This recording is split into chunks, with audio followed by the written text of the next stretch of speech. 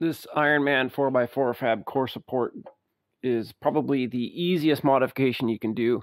It also has a provision for an anti-rock sway bar. So in the factory condition, it comes with these ears on it, which are sandwiched in between the unibody by these fish plates here. It comes with all the hardware you need. Essentially, all you do is take the two bolts out on each side for the factory core support, pop the thing up there. These are the only cuts you have to make, one on each side for the, the ears to go through. You just mark it with a Sharpie, cut it out with a grinder.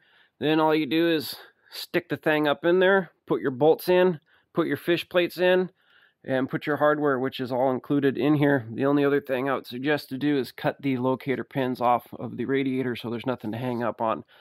That's it. That's all you have to do. You could probably do this in less than 15 minutes if you if you had a nice clean area to do it.